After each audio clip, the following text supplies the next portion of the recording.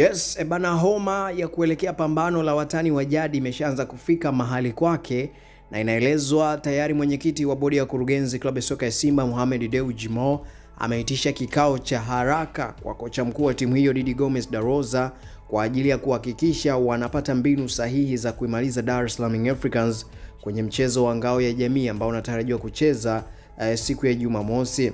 Simba inatarajiwa kuwa mwenyeji katika mchezo huo dhidi ya watani wao wa jadi Dar es Salaam Africans Septemba 25 mwaka huu kunako uwanja wa Benjamin Mkapa jijini Dar es Salaam. Katika mchezo huo Simba inaingia na kumbukumbu kumbu ya kupoteza bao moja kwa sifuri dhidi ya TP Mazembe katika mechi iliyopita ya kilele cha maadhimisho ya Simba Day, wakati Dar es Salaam Africans nayo inaingia ikiwa na hasira ya kung'olewa kunako michuano ya ligi ya mabingwa barani Afrika mbele ya Rivers United kwa jumla ya mabao mawili kwa sifuri. Chanzo kutoka ndani ya Simba kimezungumza na kulieleza gazeti la Champion kwamba tangu Simba iingie katika kambi yake nchini Moroko kisha Karatu Arusha, Mo hakuwepo nchini, lakini alirejea siku ya Simba Day na baada ya shughuli hiyo amewaita Didi Gomez da Rosa na mtendaji mkuu wa klabu hiyo Barbara Gonzalez kufanya kikao cha dharura kuelekea katika mchezo huo. Alieleza tayari maandalizi ya kuelekea katika mchezo wetu na Yanga yameanza. Kimsingi naweza kusema yameshaanza, kwani baada ya tamasha letu la Simba Day timu ilipewa mapumziko mafupi ya siku moja, huku mwenyekiti wa bodi ya wakurugenzi Mohamed Deuji akiitisha kikao cha fasta kati ya kocha Didi Gomez da Rosa pamoja na CEO Barbara Gonzalez, kikao ambacho kilihusisha watu watatu eh, kikiwa na lengo la kujadiliana juu ya mchezo wetu huo, lakini pia mwelekeo mzima katika mashindano yote yajayo. Tayari timu ipo kambini na imekwisha anza programu zote za mazoezi, hivyo mipango yote iliyojadiliwa katika kikao hicho tayari kocha ameshaanza kuifanyia kazi, hivyo hatuna shaka yoyote ya kuibuka na ushindi kuelekea katika mchezo huo ambao ni muhimu kwetu.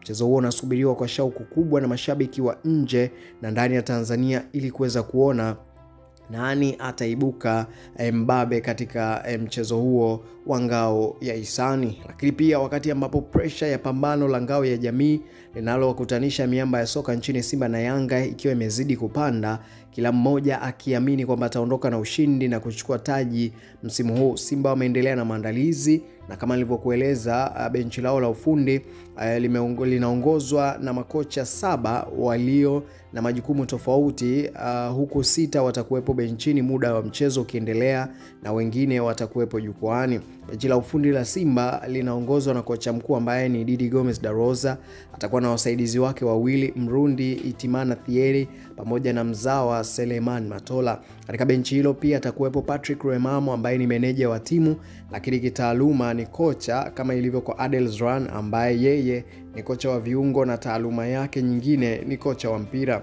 Kocha wa sita ambaye atakamilisha benchi hilo la ufundi ni Brazil Milton Nienov ambaye anatambulika kama kocha wa makipa, lakini pia taaluma yake nyingine ni kocha kama alivyo bosi wake Didi Gomes da Rosa.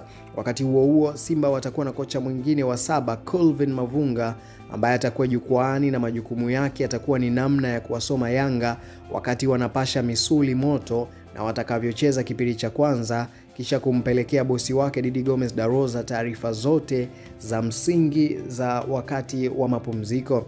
Kutokana na upana huo wa benchi la ufundi la Simba kuwa na watu sita ambao kitaaluma ni makocha, huenda wakawa na faida na kumsaidia zaidi Didi Gomes na kumshauri kabla, baada na hata kipindi ambacho mechi inaendelea. Kwa upande wa Yanga, benchi lao la ufundi kuna makocha watatu, Nasreddin Nabi ambaye atakuwa na wasaidizi wawili, Mrundi Cedric Kaze ambaye taarifa zake tumezipata kwamba leo ameshatua na yuko kambini kule Avic Town kwa ajili ya maandalizi eh, ya mchezo. Pamoja na mwingine ni kocha wa makipa Razak Siwa ambaye yeye pia kitaaluma ni kocha.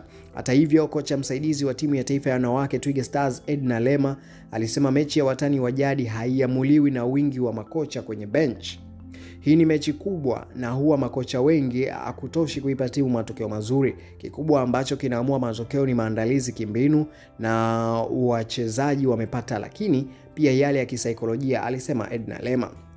Lakini pia kutokana na usajili ambao Simba na Yanga wameufanya msimu huu katika vikosi vyao, kutakuwa na mabadiliko ya wachezaji wachache katika nafasi tofauti kulingana na wale ambao walioondoka. Simba kikosi chao kitakuwa na mabadiliko sababu watawakosa wachezaji watatu, Luis Jose Mixon, Chama Clatous pamoja na Bernard Morrison anayetumikia adhabu ya kufungiwa na shirikisho la mpira nchini Tanzania TFF.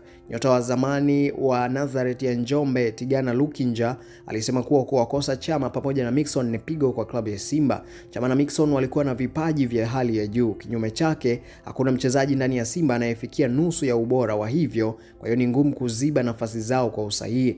Muundo wa kucheza Simba ulijengwa kuwapitia hao. Waliruhusiwa kutumia vipaji binafsi kuiunganisha timu ili kupata matokeo mazuri, na ndiyo maana Luis alikuwa anacheza eneo kubwa la uwanja, pamoja na ukweli kwamba alikuwa anapangwa kama kiungo wa pembeni kutokea upande wa kushoto. Sijui utimamu wa Dilunga anaweza kutoa asilimia 45 ya kile ambacho alikuwa anakitoa Luis kwenye nafasi yake.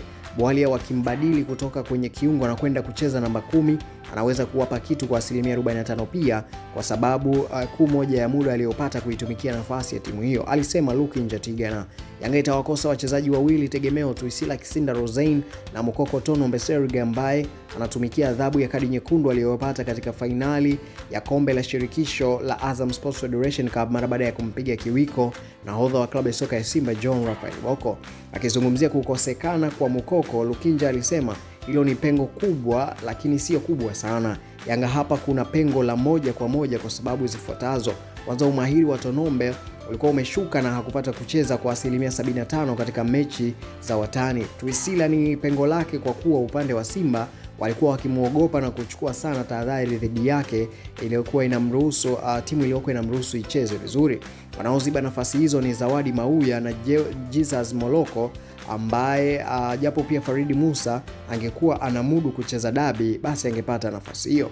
Kutokana na kukosekana kwa wachezaji hao, kikosi cha Simba kinaweza kuanza na mfumo mmoja kati ya miwili 4-2-3-1 ambao Gomez ameutumia zaidi msimu uliopita au 3-5-2 ambaye pia ni mfumo mpya kwa upande wake. Kulingana na mfumo wa 4-2-3-1, Simba wanaweza kuwa na Aish Manula, mabeki Shomari Kapombe, Mohamed Hussein, Joao Shonyango, Heno Kinonga, lakini pia viungo wawili Tadeu Luanga pamoja na Sadio Kanut, wakati pia washambuliaji wanaweza kuwa Pape Osman Sako, Larry Bwali, Akibu Dennis, wakati pia anaweza kuanza Chris Kope Mugalu. Upande uh, wa Dar es Salaam Africans wao wanaweza kuwa na uh, Eric Johora, lakini pia anaweza kuwa na David Bryson, Paul Godfrey Boxer, Deus Kaseke, Saidon Tibazonki za Yakuba Sonye pamoja na Farid Musa. Hebu nipe comment yako, unazungumziaje mchezo na ukuja wa watani wa jadi? Hebu nipangie vikosi vyako kama ni Simba au Yanga. Waache leo wacheke pakiwa jua linawaka, lakini kesho watacheka mbavu zao zikiwa jalalani, kunguru wanatafuna.